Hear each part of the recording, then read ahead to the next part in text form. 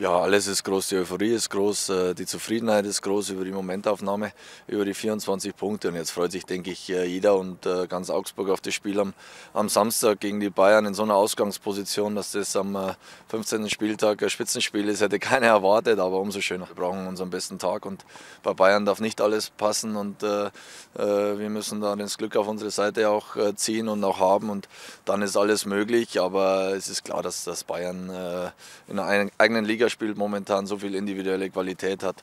Und äh, wie gesagt, es müsste alles passen. Sie haben in der Saison dreimal äh, auswärts auch unentschieden gespielt und ich glaube, das wäre auch schon ein Erfolg. Wir können nicht nur gewinnen und verlieren, wollen einmal unentschieden spielen.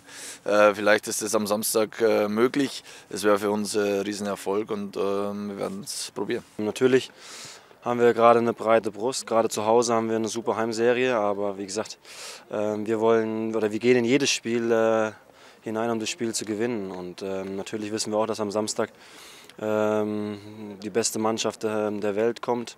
Ähm, von daher wird die Aufgabe schwer, aber wir werden alles dafür tun, ähm, dass wir am Samstag die Bayern ähm, ja, ärgern. Man kann nicht nur gewinnen und äh, das haben wir letztes Jahr, glaube ich, äh, bewiesen. Als wir die äh, Bayern äh, hier geschlagen haben, äh, klar, waren vielleicht ein paar Spieler dabei, die äh, weniger zum Zug kommen, aber das äh, interessiert äh, am Ende keinen, weil es äh, um die drei Punkte geht. Und äh, wir werden auf jeden Fall nicht ins Spiel gehen wie andere Vereine und sagen, ja, Hauptsache wir kriegen keine vier, fünf Stück, sondern äh, wir werden äh, alles probieren, dass wir unsere Serie zu Hause auch weiter fortsetzen. Wir haben alles andere vor wie eine Kampfansage an Bayern München, weil es das gar nicht gibt und gar nicht notwendig ist und, und auch nicht realistisch ist, sondern es ist ein Spiel, eben, wo es normal wäre, dass Bayern München gewinnt. Aber ich habe es vorher schon gesagt, was ist normal in dem Jahr in der Bundesliga.